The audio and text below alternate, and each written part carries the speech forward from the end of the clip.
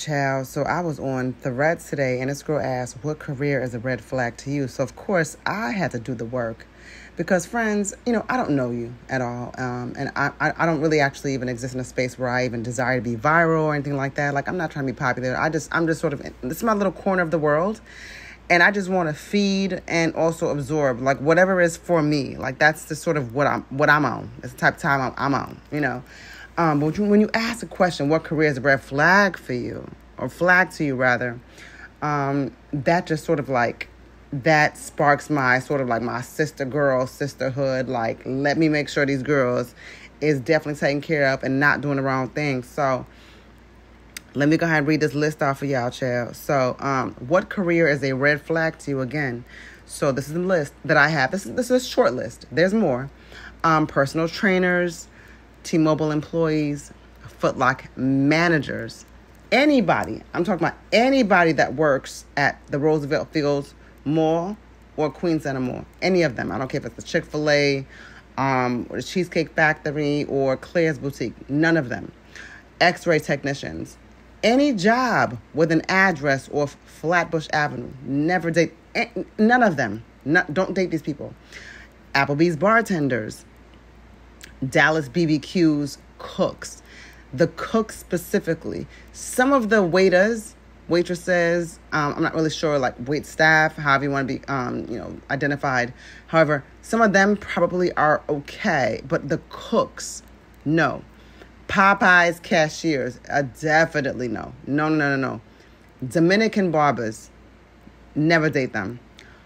Puerto Rican barbers, African anything. I don't care what we're doing whether it's an African that works at the TJ Maxx in loss prevention, uh, or an African that works at the Target as a manager. Don't date Africans at all. And, and, I, and I'm East African. I'm telling you this because I love you guys. So no, don't do it. Um, fishermen, just just don't, don't do that. Military men, I, I don't got to tell you guys too much about that. We already know about that too. Um, NYPD, very specifically, as I said, 79th and 88th precinct. Again, NYPD 79th and 88th precinct stay away from every single individual who works for these precincts. Um, no, it's not going to work. Don't do it, honey. Optometrists, uh, Walmart assistant managers. The managers, maybe, maybe. The assistants, not worth your time. NBA players. Like, why even do it? Um, certainly at my big age, like I, I don't. It wouldn't even make sense. Anybody in NBA at this, this particular point, um, I'm auntie team. So like, why the heck would I even be entertaining something like that? But yeah, don't do it. For more reasons than that, than the age. But you know, obviously, just don't do it. It's not worth their time. Um, any anybody at Guitar Center, they already know they have a cool job.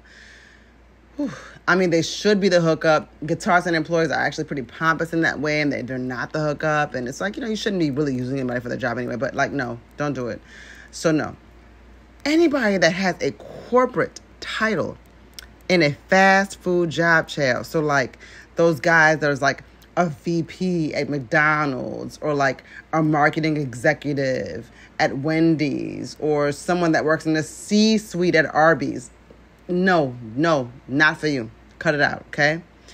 Um, this is a very short list, honey. A very short list of mine. I, I do have other um, jobs that I want you guys to stay away from, but I just want to at least get this out for y'all. I, I needed to get this out for y'all because I really truly do care about you, and that's it.